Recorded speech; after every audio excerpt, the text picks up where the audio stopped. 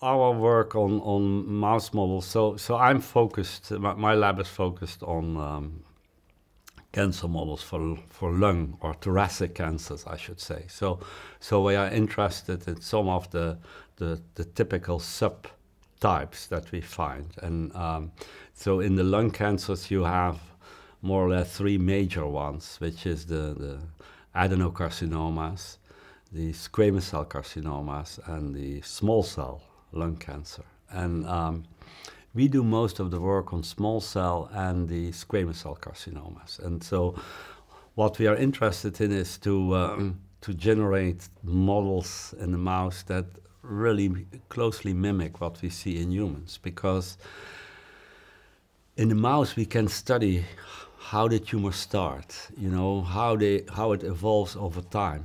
We would like to know from what, what is the cell of origin of these tumors so that we really know how this tumor development works. Because in humans, you know, we, we always are encountering patients that have already usually advanced tumors. I mean, that's the reason why the prognosis for uh, lung cancer patients is, is so bad. And so we will like, would like to know what are the initial phases.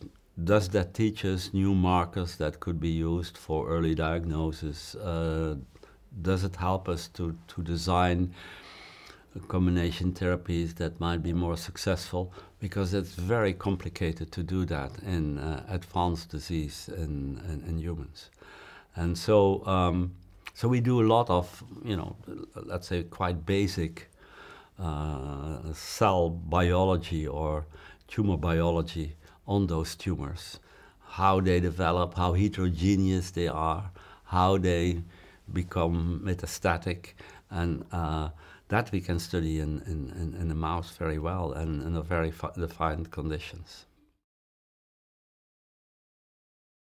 Well, I think it's, it's at the moment it, it's it's too early. We, of course, we all hope that, but you know, the question is, you have to understand the system. You know, you know of course, the desire to to help patients is is is enormous, and it, I, I'm sure that every basic investigator, it would be great if he could see that what he did as, as research had uh, was benefiting patients. But at the same time, you know just that desire is not enough. You have to understand the biology in order to do something useful. And I think what we try to do is what we, the things we see in the mouse, we try to correlate in first instance in, in, in humans. In, in other words, is if we see abnormalities there, then the question is, do we see that in humans as well? And if one applies or tries certain therapies in a mouse, would that also work in, in, in patients. And that's what a stage, what we do a lot, like, like, you know, screens, so to say, to find out what might be the weak points of these, these mouse tumors that so much resemble the human tumors. And if we find their combinations, we, because we partly do that type of screens, we cannot all do that in mice, so we do that also in cell lines derived from these mice. And so once we have combinations, then we will move it into the mouse models. And if that would be successful, that would be the moment that we would move it into to, to human uh, clinical trials. But the other side effect might be, and, and we see some of that, that we, we, we find markers that, uh, that have prognostic value, for example, or predictive value, so that might predict this, this responding to, to, to particular therapy and so on. So we are also eager to look at those aspects, and uh, because for some of the lung cancers, would really be great if you you know if you would have an easy test.